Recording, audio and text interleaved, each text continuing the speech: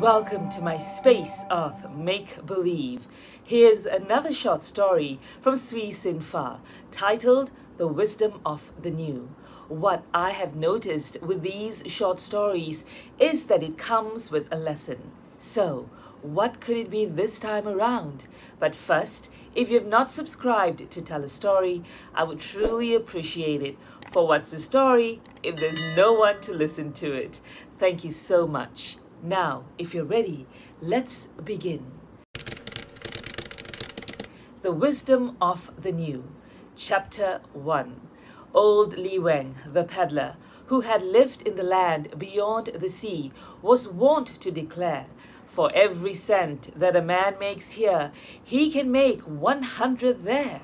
Then why, would ask Sankwei, do you now have to move from door to door to fill your bowl with rice? And the old man would sigh and answer, because where one learns how to make gold, one learns how to lose it. How to lose it? echoed Wu Sankwei. Tell me all about it. So the old man would tell stories about the winning and the losing, and the stories of the losing were even more fascinating than the stories of the winning. Yes, that was life. He would conclude, life, life. At such times, the boy would gaze across the water with wistful eyes. The land beyond the sea was calling to him. The place was a sleepy little south coast town where the years slipped by monotonously. The boy was the only son of the man who had been the town magistrate. Had his father lived, Wu Sankwei would have been sent to complete his schooling in another province. As it was, he did nothing but sleep, dream, and occasionally get into mischief. What else was there to do? His mother and sister waited upon him hand and foot. Was he not the son of the house? The family income was small, scarcely sufficient for their needs, but there was no way by which he could add to it unless indeed he disgraced the name of Wu by becoming a common fisherman. The great green waves lifted white arms of foam to him, and the fishes, gleaming and lurking in the waters, seemed to beseech him to draw them from the deep. But his mother shook her head. Should you become a fisherman, said she, your family would lose face. Remember that your father was a magistrate. When he was about nineteen, there returned to the town one who had been absent for many years. Ching Ki, like old Li Wang, had also lived in the land beyond the sea, but unlike old Li Wang, he had accumulated a small fortune. "'Tis a hard life over there," said he, "But "but 'tis worthwhile. At least one can be a man, and can work at what work comes his way, without losing face. Then he laughed at Wu Sankwei's flabby muscles, at his soft dark eyes and plump white hands. If you lived in America, said he, you would learn to be ashamed of such beauty. Whereupon Wu Sankwei made up his mind that he would go to America, the land beyond the sea, better any life than that of a woman man. He talked long and earnestly with his mother. Give me your blessing, said he. I will work and save money. What I send home will bring you many a comfort, and when I come back to China, it may be that I shall be able to complete my studies and obtain a degree. If not, my knowledge of the foreign language which I shall acquire will enable me to take a position which will not disgrace the name of Wu. His mother listened and thought. She was ambitious for her son, whom she loved beyond all things on earth. Moreover, had not Sik Ping, a Canton merchant who had visited the little town two moons ago, declared to Hum Wah, who traded in palm leaves, that the signs of the times were that the son of a cobbler returned from America with a foreign language could easier command a position of consequence than the son of a school teacher unacquainted with any tongue but that of his motherland. Very well, she acquiesced, but before you go, I must find you a wife. Only your son, my son, can comfort me for your loss. Chapter 2 Wu Sankwei stood behind his desk, busily entering figures in a long yellow book. Now and then, he would thrust the hair pencil with which he worked behind his ears and manipulate with deft fingers a Chinese counting machine. Wu Sankwei was the junior partner and bookkeeper of the firm of Leung Teng Wu and Co. of San Francisco. He had been in America seven years and had made good use of his time. Self improvement had been his object and ambition, even more than the acquirement of a fortune. And who, looking at his fine, intelligent face and listening to his careful English, could say that he had failed? One of his partners called his name. Some ladies wished to speak to him. Wu Sankwei hastened to the front of the store. One of his callers, a motherly looking woman, was the friend who had taken him under her wing shortly after his arrival in America. She had come to invite him to spend the evening with her and her niece, the young girl who accompanied her. After his callers had left, Sankwei returned to his desk and worked steadily until the hour for his evening meal, which he took in the Chinese restaurant across the street from the bazaar. He hurried through with this, as before going to his friend's house, he had a somewhat important letter to write and mail. His mother had died a year before, and the uncle to whom he was writing had taken his wife and son into his home until such time as his nephew could send for them. Now the time had come. Wu Sankwei's memory of the woman who was his wife was very faint. How could it be otherwise? She had come to him but three weeks before the sailing of the vessel which had brought him to America, and until then he had not seen her face. But she was his wife and the mother of his son. Ever since he had worked in America, he had sent money for her support, and she had proved a good daughter to his mother. As he sat down to write, he decided that he would welcome her with a big dinner to his countrymen. Yes, he replied to Mrs. Dean later on in the evening, I have sent for my wife. I am so glad, said the lady. Mr. Wu, turning to a niece, has not seen his wife for seven years. Dearie me, exclaimed the young girl, what a lot of letters you must have written. I have not written her one, returned the young man, somewhat stiffly. Ada Charlton looked up in surprise. Why? she began. Mr. Wu used to be such a studious boy when I first knew him, interrupted Mrs. Dean, laying a hand affectionately upon the young man's shoulder. Now it is all business, but you won't forget the concert on Saturday evening. No, I will not forget, answered Wu Sankwei. He has never written to his wife, explained Mrs. Dean when she and her niece were alone, because his wife can neither read nor write. Oh, isn't that sad? murmured Ada Charlton, her own winsome face becoming pensive. They don't seem to think so. It is the Chinese custom to educate only the boys. At least it has been so in the past. Sankwei himself is unusually bright, Poor boy. He began life here as a laundryman, and you may be sure that it must have been very hard on him, for as the son of a petty Chinese government official, he had not been accustomed to manual labor. But Chinese character is wonderful, and now, after seven years in this country, he enjoys a reputation as a businessman amongst his countrymen, and is as up to date as any young American. But, Auntie, isn't it dreadful to think that a man should live away from his wife for so many years without any communication between them whatsoever, except through others? It is dreadful to our minds, but not to theirs. Everything with them is a matter of duty. Sankwei married his wife as a matter of duty. He sends for her as a matter of duty. I wonder if it is all duty on her side, mused the girl. Mrs. Dean smiled. You are too romantic, Ada, said she. I hope, however, that when she does come, they will be happy together. I think almost as much of Sankwei as I do of my own boy. Chapter 3 Pao Lin, the wife of Wu Sankwei, sat in a corner of the deck of the big steamer, awaiting the coming of her husband.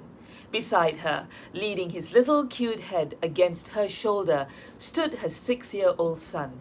He had been ailing throughout the voyage, and his small face was pinched with pain. His mother, who had been nursing him every night since the ship had left port, appeared very worn and tired.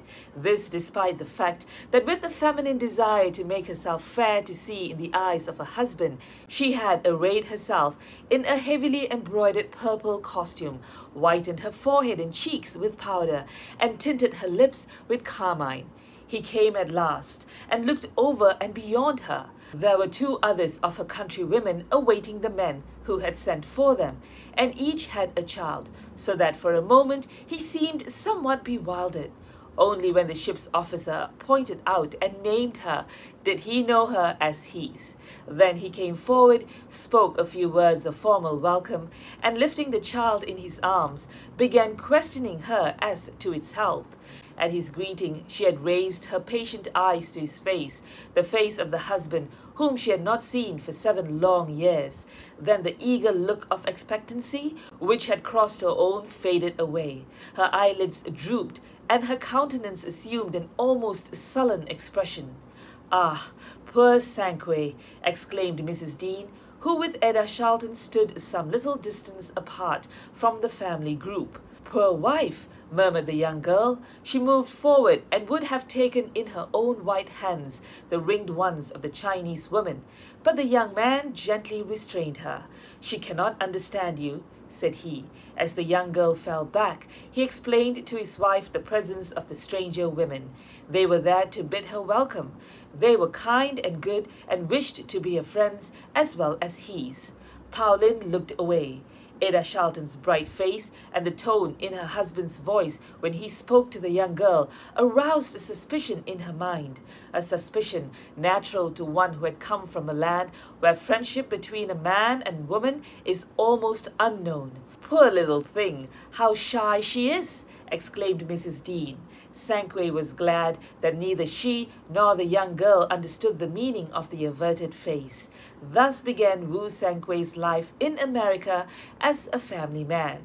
He soon became accustomed to the change, which was not such a great one after all. Pao Lin was more of an accessory than a part of his life. She interfered not at all with his studies, his business, or his friends, and when not engaged in housework or sewing, spent most of her time in the society of one or the other of the merchants' wives who lived in the flats and apartments around her own. She kept up the Chinese custom of taking her meals after her husband or at a separate table, and observed faithfully the rule laid down for her by her late mother-in-law, to keep a quiet tongue in the presence of a man. Sankwei, on his part, was always kind and indulgent. He bought her silk dresses, hair ornaments, fans, and sweetmeats. He ordered her favorite dishes from the Chinese restaurant.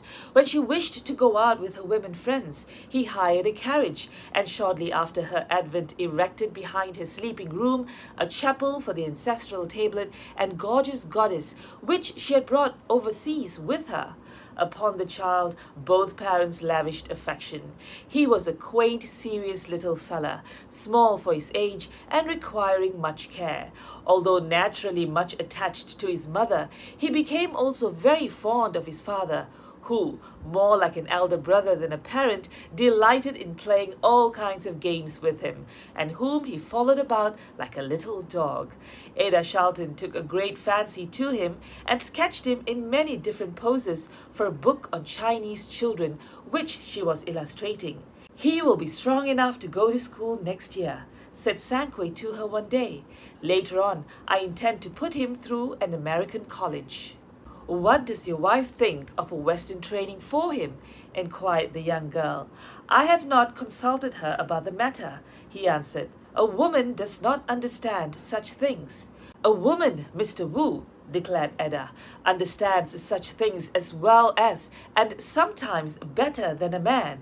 An American woman, maybe, amended Sankwei, but not a Chinese. From the first, Pao Lin had shown no disposition to become Americanized, and Sankwei himself had not urged it. I do appreciate the advantages of becoming westernized, said he to Mrs. Dean, whose influence and interest in his studies in America had helped him to become what he was. But it is not as if she had come here as I came in her learning days. The time for learning with her is over. One evening, upon returning from his store, he found the little Yen sobbing pitifully. What, he teased, a man, and weeping! The boy tried to hide his face, and as he did so, the father noticed that his little hand was red and swollen. He strode into the kitchen where Pao Lin was preparing the evening meal. The little child, who is not strong, is there anything he could do to merit the infliction of pain? he questioned. Pao Lin faced her husband. Yes, I think so, said she. What? I forbade him to speak the language of the white women, and he disobeyed me. He had words in the tongue with a white boy from the next street. Sankwei was astounded. We are living in the white man's country, said he. The child will have to learn the white man's language. Not my child, answered Pauline. Sankwei turned away from her. Come, little one, said he to his son. We will take supper tonight at the restaurant, and afterwards Yen shall see a show. Pao Lin laid down the dish of vegetables which she was straining and took from a hook a small wrap which she adjusted around the boy. Now go with thy father, said she sternly. But the boy clung to her, to the hand which had punished him. I will sup with you, he cried. I will sup with you. Go, repeated his mother, pushing him from her and as the two passed over the threshold, she called to the father, Keep the wrap around the child. The night air is chill. Later that night, while father and son were peacefully sleeping, the wife and mother arose and lifting gently the unconscious boy, bore him into the next room where she sat down with him in a rocker. Waking, he clasped his arms around her neck. Backwards and forwards she rocked him, passionately caressing the wounded hand, and crooning and crying until he fell asleep again. The first chastisement that the son of Wu Sankwei had received from his mother was because he had striven to follow in the footsteps of his father and use the language of the stranger. You did perfectly right, said old Hsien Tao the following morning as she leaned over her balcony to speak to the wife of Wu Sankwei. Had I again a son to rear, I should see to it that he followed not after the white people. Hsien Tao's son had married a white woman, and his children passed their grand dame on the street without recognition. In this country, she is most happy who has no child, said Lei Chu, resting her elbow upon the shoulder of Hsien Tao. A toy, the young daughter of Liu Wing, is as bold and free in her ways as are the white women, and her name is on all the men's tongues. What prudent man of our race would take her as a wife? One needs not be born here to be made a fool of, joined in Pao Lin, appearing at another balcony door. Think of Hua. From sunrise till midnight, he worked for 14 years. Then a white man came along and persuaded from him every dollar, promising to return double fold within the moon. Many moons have risen and waned, and Hua still waits on this side of the sea for the white man and his money. Meanwhile, his father and mother, who looked long for his coming, have passed beyond returning. The new religion, what trouble it brings! exclaimed Lei Chu. My man received word yester eve that the good old mother of Chi Ping, he who was baptized a Christian at the last baptizing in the mission around the corner, had her head secretly severed from her body by the steadfast people of the village as soon as the news reached there. 'Twas the first violent death in the records of the place. This happened to the mother of one of the boys attending the mission corner of my street. No doubt the poor old mother, having lost face, minded not so much the losing of her head, sighed Pao Lin. She gazed below her curiously. The American Chinatown held a strange fascination for the girl from the sea-coast village. Streaming along the street was a motley throng made up of all nationalities. The sing-song voices of the girls, whom respectable merchants' wives shudder to name, were calling to one another from high balconies up shadowy alleys. a fat barber was laughing hilariously at a drunken white man who had fallen into a gutter. A withered old fella, carrying a bird in a cage, stood at the corner entreating passers-by to have a good fortune told. Some children were burning punk on the curbstone. There went a stalwart chief of six companies engaged in earnest confab with a yellow-robed priest from the Joss house. A Chinese dressed in the latest American style and a very blonde woman laughing immoderately were entering a Chinese restaurant together. Above all the hubbub of voices was heard the clang of electric cars and the jarring of heavy wheels over cobblestones. Pao Lin raised her head and looked her thoughts at the old woman, Hsien Tao. Yes, nodded the dame. Tis a mad place in which to bring up a child. Pao Lin went back into the house, gave little Yen his noonday meal, and dressed him with care. His father was to take him out that afternoon. She questioned the boy as she braided his queue concerning the white woman whom he visited with his father.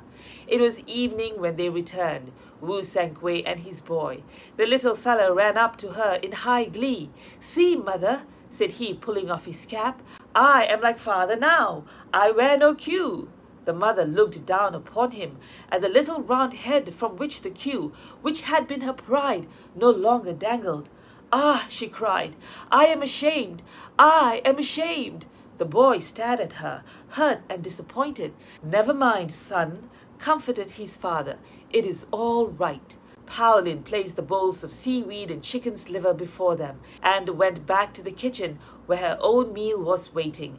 But she did not eat. She was saying within herself, It is for the white woman he has done this. It is for the white woman.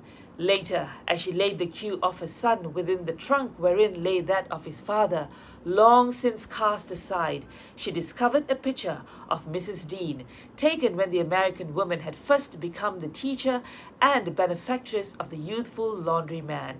She ran over with it to her husband. Here, said she, it is a picture of one of your white friends. Sankwei took it from her almost reverently. That woman, he replied, has been to me as a mother. And the young woman, the one with eyes the color of blue china, is she also as a mother? inquired Pao Lin gently. But for all her gentleness, Wu Sankwei flushed angrily. Never speak of her, he cried. Never speak of her. Ha ha ha! Ha ha ha, laughed Pao Lin.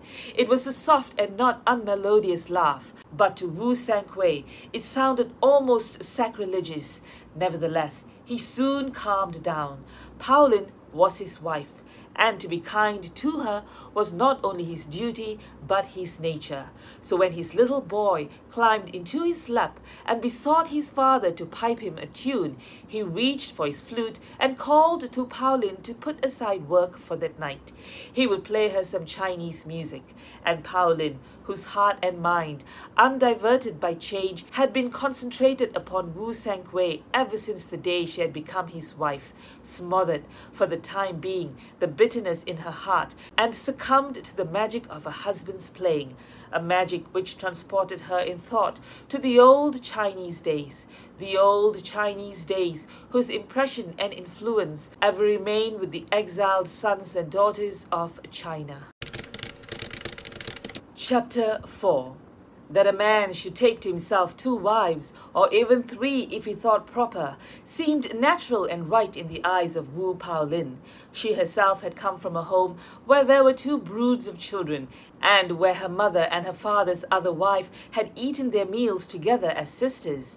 In that home there had not always been peace, but each woman at least had the satisfaction of knowing that her man did not regard or treat the other woman as her superior. To each had fallen the common lot, to bear children to the man, and the man was master of all. But oh, the humiliation and shame of bearing children to a man who looked up to another woman, and a woman of another race, as a being above the common uses of women. There is a jealousy of the mind more poignant than any mere animal jealousy. When Wu Sankwei's second child was two weeks old, Ada Charlton and her aunt called to see the little one, and the young girl chatted brightly with the father and played merrily with Yen, who was growing strong and merry. The American women could not, of course, converse with the Chinese, but Ada placed beside her a bunch of beautiful flowers, pressed her hand, and looked down upon her with radiant eyes. Secure in the difference of race, in the love of many friends, and in the happiness of her chosen work, no suspicion whatever crossed her mind that the woman whose husband was her aunt's protege tasted everything bitter because of her. After the visitors had gone, Pao Lin, who had been watching her husband's face while the young artist was in the room, said to him, She can be happy who takes all and gives nothing. Takes all and gives nothing? echoed her husband. What do you mean? She has taken all your heart, answered Pao Lin, but she has not given you a son. It is I who have had that task. You are my wife, answered Wu Sankwei, and she, oh, how can you speak of her so? She, who is as a pure water flower, a lily. He went out of the room, carrying with him a little painting of their boy, which Ada Charlton had given to him as she bade him goodbye, and which she had intended showing with pride to the mother. It was on the day that the baby died that Pao Lin first saw the little picture. It had fallen out of her husband's coat pocket when he lifted the tiny form in his arms and declared it lifeless. Even in that first moment of loss, Pao Lin, stooping to pick up the portrait, had shrunk back in horror, saying, she would cast a spell. She would cast a spell. She set her heel upon the face of the pitcher and destroyed it beyond restoration. You know not what you say and do, sternly rebuked Sankwei. He would have added more, but the mystery of the dead child's look forbade him. The loss of a son is as the loss of a limb, said he to his childless partner, as under the red glare of the lanterns they sat, discussing the sad event. But you are not without consolation, returned Liang Sao. Your firstborn grows in strength and beauty. True, assented Wu Sankwei, his heavy thoughts becoming lighter. And Pao Lin, in her curtained balcony overhead, drew closer her child and passionately cried. Sooner would I, O heart of my heart, that the light of thine eyes were also quenched, than that thou shouldest be contaminated with the wisdom of the new. Chapter 5 The Chinese women friends of Wu Paolin gossiped among themselves, and their gossip reached the ears of the American woman friend of Paolin's husband. Since the days of her widowhood, Mrs. Dean had devoted herself earnestly and wholeheartedly to the betterment of the condition and the uplifting of the young working man of Chinese race who came to America. Their appeal and need, as she had told her niece, was for closer acquaintance with the knowledge of the Western people, and that she had undertaken to give them as far as she was able. The rewards and satisfactions of her work had been rich in some cases, witness Wu Sankwei. But the gossip had reached and much perturbed her. What was it that they said Wu Sankwei's wife had declared? That her little son should not go to an American school, nor learn the American learning? Such bigotry and narrow mindedness! How sad to think of! Here was a man who had benefited and profited by living in America, anxious to have his son receive the benefits of a Western education. And here was this man's wife opposing him with her ignorance and hampering him with her unreasonable jealousy. Yes, she had heard that too, that Wu Sankwei's wife was jealous. Jealous! And the husband, the most moral of men, the kindest and the most generous. Of what is she jealous? she questioned Ada Charlton. Other Chinese men's wives I have known have had cause to be jealous, for it is true some of them are dreadfully immoral and openly support two or more wives, but not Wu Sankwei. And this little Pao Lin, she has everything that a Chinese woman could wish for.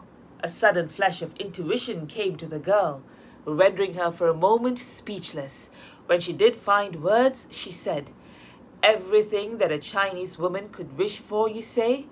Auntie, I do not believe there is any real difference between the feelings of a Chinese wife and an American wife. Sankwei is treating Pao Lin as he would treat her were he living in China. Yet it cannot be the same to her as if she were in their own country, where he would not come in contact with American women. A woman is a woman with intuitions and perceptions, whether Chinese or American, whether educated or uneducated. And Sankwei's wife must have noticed, even on the day of her arrival, her husband's manner towards us and contrasted it with his manner towards her. I did not realize this before you told me that she was jealous. I only wish I had. Now, for all her ignorance, I can see that the poor little thing became more of an American in that one half hour on the steamer than Wu Sankwei, for all your pride in him, has become in seven years. Mrs. Dean rested her head on her hand. She was evidently much perplexed. What you say may be, Ada, she replied after a while. But even so, it is Sankwei whom I have known so long, who has my sympathies. He has much to put up with. They have drifted seven years of life apart. There is no bond of interest or sympathy between them, save the boy.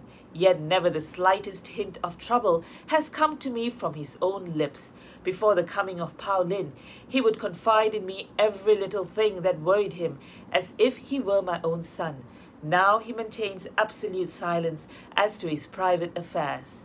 Chinese principles, observed Ada, resuming her work. Yes, I admit Sankwei has some puzzles to solve. Naturally, when he tries to live two lives, that of a Chinese and that of an American. He is compelled to that, retorted Mrs. Dean. Is it not what we teach these Chinese boys to become American? And yet they are Chinese and must, in a sense, remain so. Ada did not answer. Mrs. Dean sighed. Poor dear children, both of them, mused she. I feel very low spirited over the matter. I suppose you wouldn't care to come downtown with me. I should like to have another chat with Mrs. Wing Sing. I shall be glad of the change, replied Ada, laying down her brushes.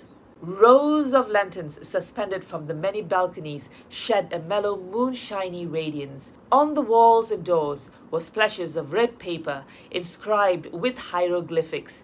In the narrow streets, booths decorated with flowers and banners and screens painted with immense figures of josses diverted the eye, while bands of musicians in gaudy silks shrilled and banged, piped and fluted. Everybody seemed to be out of doors, men, women, and children, and nearly all were in holiday attire. A couple of priests in vivid scarlet and yellow robes were kowtowing before an altar covered with a rich cloth embroidered in white and silver. Some Chinese students from the University of California stood looking on with comprehending half a scornful interest. Three girls lavishly dressed in colored silks with their black hair plastered back from their faces and heavily bejeweled behind, chirped and chatted in a gilded balcony above them like birds in a cage. Little children, their hands full of half-moon-shaped cakes, were pattering about with eyes for all the hour as bright as stars. Chinatown was celebrating the Harvest Moon Festival, and Ada Charlton was glad that she had an opportunity to see something of the celebration before she returned east. Mrs. Dean, familiar with the Chinese people and the mazes of Chinatown, led her around fearlessly, pointing out this and that object of interest and explaining to her its meaning. Seeing that it was a gala night, she had abandoned her idea of calling upon the Chinese friend. Just as they turned a corner leading up to the street where Wu Sang-Wei's place of business and residence was situated, a pair of little hands grasped Mrs. Dean's skirt and a delighted little voice piped, See me, see me!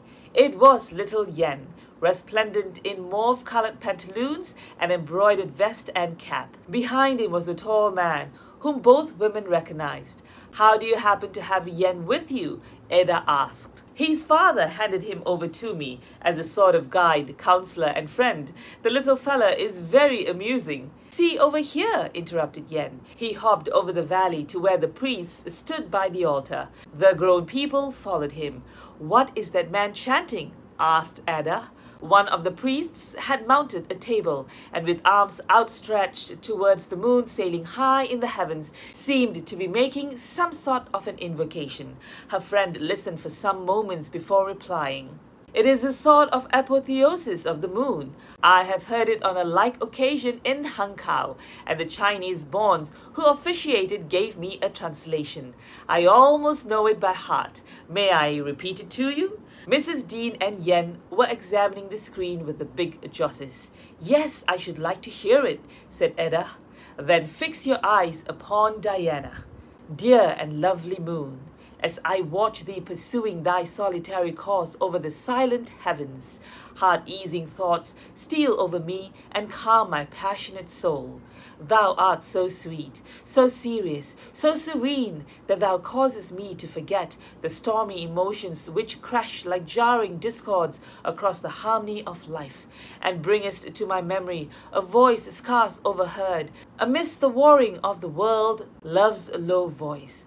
Thou art so peaceful and so pure that it seemeth as if naught false or ignoble could dwell beneath thy gentle radiance, and thy earnestness, even the earnestness of genius, must glow within the bosom of him on whose head thy beams fall like blessings. The magic of thy sympathy. Disburtheneth me of many sorrows and thoughts, which, like the songs of the sweetest sylvan singer, are too dear and sacred to the callous ears of day, gush forth with unconscious eloquence when thou art the only listener. Dear and lovely moon, there are some who say that those who dwell in the sunlit fields of reason should fear to wander through the moonlit valleys of imagination, but I, who have ever been a pilgrim and a stranger in the realm of the wise, offer to thee the homage of a heart which appreciates that thou graciously shinest, even on the fool. Is that really Chinese? queried Ada. No doubt about it. In the main. Of course, I cannot swear to it word for word. I should think that there would be some reference to the fruits of the earth, the harvest. I always understood that the Chinese religion was so practical. Confucianism is, but the Chinese mind requires two religions. Even the most commonplace Chinese has yearnings for something above everyday life. Therefore, he combines with his Confucianism Buddhism, or in this country, Christianity. Thank you for the information. It has given me a key to the mind of a certain Chinese in whom Auntie and I are interested. And who is this particular Chinese in whom you are interested? The father of the little boy who is with us tonight. Wu Sankwei? Why, here he comes with Li Tonghe. Are you acquainted with Li Tonghe? No, but I believe Aunt is. Plays and sings in vaudeville, doesn't he? Yes, he can turn himself into a German, a Scotchman, an Irishman, or an American with the greatest ease and is as natural in each character as he is as a Chinaman. Hello, Li Tonghe. Hello, Mr. Simpson. While her friend was talking to the lively young Chinese who had answered his greeting, Ada went over to where Wu Sankwei stood speaking to Mrs. Dean. Yen begins school next week, said her aunt, drawing her arm within her own. It was time to go home. Ada made no reply. She was settling her mind to do something quite out of the ordinary.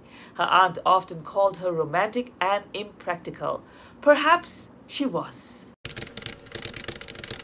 Chapter 6 Auntie went out of town this morning, said Ada Charlton.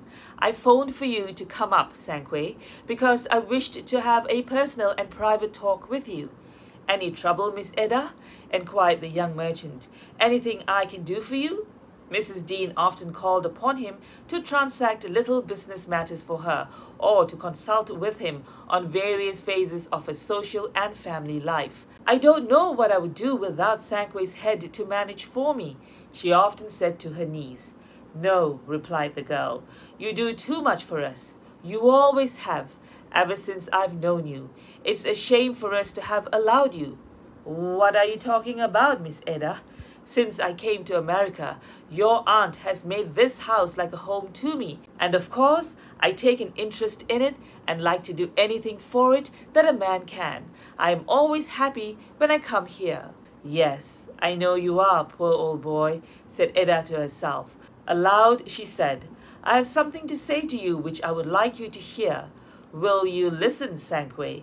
Of course I will, he answered. Well then, went on Ada, I asked you to come here today because I have heard that there is trouble at your house and that your wife is jealous of you.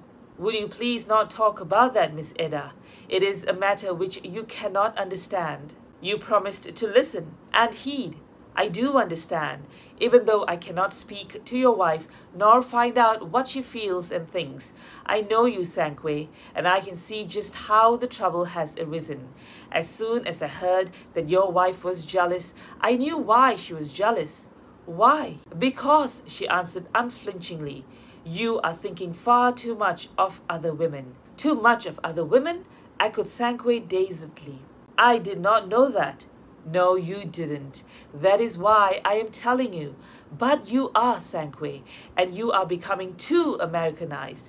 My aunt encourages you to become so, and she is a good woman, with the best and highest of motives. But we are all liable to make mistakes, and it is a mistake to try and make a Chinese man into an American.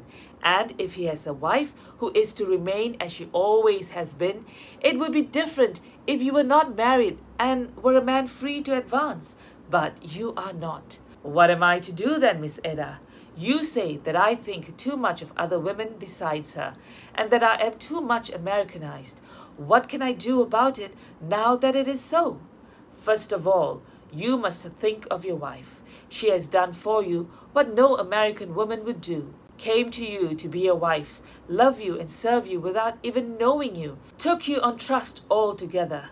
You must remember that for many years she was chained in a little cottage to care for your ailing and aged mother. A hard task indeed for a young girl. You must remember that you are the only man in the world to her, and that you have always been the only one that she has ever cared for. Think of her during all the years you are here, living a lonely, hard-working life a baby and an old woman, her only companions. For this, she had left all her own relations. No American woman would have sacrificed herself so. And now, what has she? Only you and her housework. The white woman reads, plays, paints, attends concerts, entertainments, lectures, absorbs herself in the work she likes, and in the course of her life thinks of and cares for a great many people. She has much to make her happy besides her husband. The Chinese woman has him only, and her boy. Yes, her boy, repeated Ada, smiling in spite of herself, but lapsing into seriousness the moment after. There's another reason for you to drop the American for a time and go back to being a Chinese. For sake of your darling little boy, you and your wife should live together kindly and cheerfully. That is much more important for his welfare than that he should go to the American school and become Americanized. It is my ambition to put him through both American and Chinese schools. But what he needs most of all is a loving mother. She loves him all right, then why do you not love her as you should? If I were married, I would not think my husband loved me very much if he preferred spending his evenings in the society of other women than in mine, and was so much more polite and deferential to other women than he was to me. Can't you understand now why your wife is jealous? Wu Sankwei stood up. Goodbye, said Ada Charlton, giving him her hand. Goodbye, said Sankwei. Had he been a white man, there is no doubt that Ada Charlton's little lecture would have had a contrary effect from what she meant it to have. At least the lecture would have been somewhat cynical as to her sincerity. But Wu Sankwei was not a white man. He was a Chinese, and did not see any reason for her insincerity in a matter as important as that which Ada Charlton had brought before him. He felt himself exiled from paradise, yet it did not occur to him to question, as a white man would have done, whether the angel with the flaming sword had authority for her action. Neither did he lay the blame for things gone wrong upon any woman. He simply made up his mind to make the best of what was.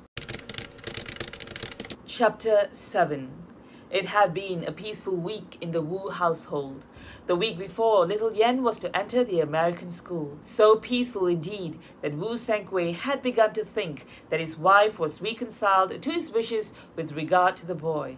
He whistled softly as he whistled away at the little ship he was making for him. Ada Charlton's suggestions had set causing a train of thought which had curved around Pao Lin so closely that he had decided that, should she offer any further opposition to the boy's attending the American school, he would not insist upon it. After all, though the American language might be useful during this century, the wheel of the world would turn again, and then it might not be necessary at all.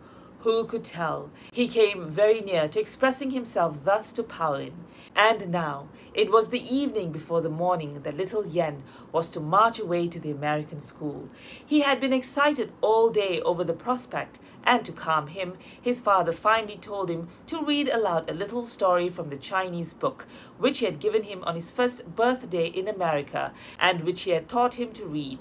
Obediently, the little fellow drew his stool to his mother's side and read in his childish sing-song the story of an irreverent lad who came to great grief because he followed after the funeral of his grandfather and regaled himself in the crisply roasted chickens and loose-skinned oranges which were left on the grave for the feasting of the spirit. Wu Sankwei laughed heartily over the story.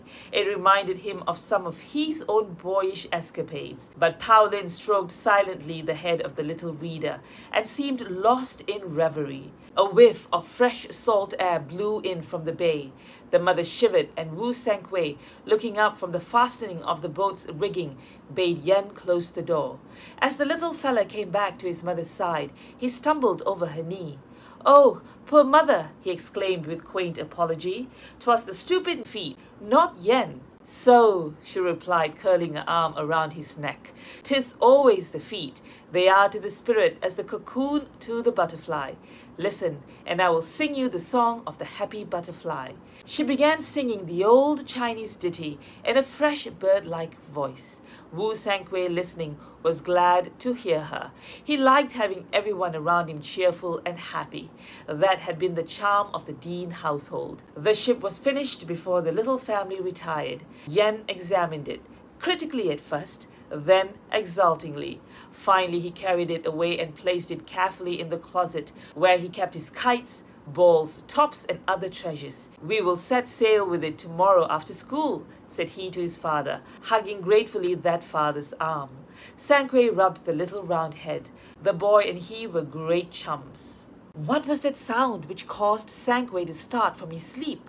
It was just on the borderland of night and day, an unusual time for Pao Lin to be up, yet he could hear her voice in Yen's room.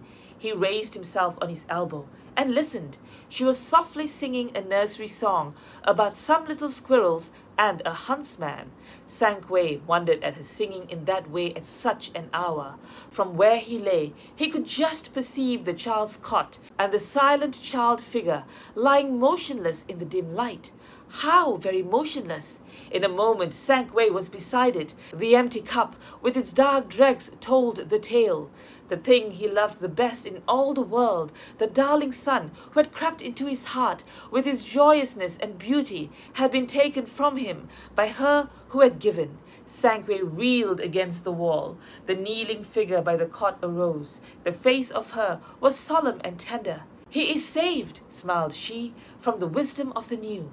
In grief too bitter for words, the father bowed his head upon his hands. Why? Why? queried Pao Lin, gazing upon him bewilderedly.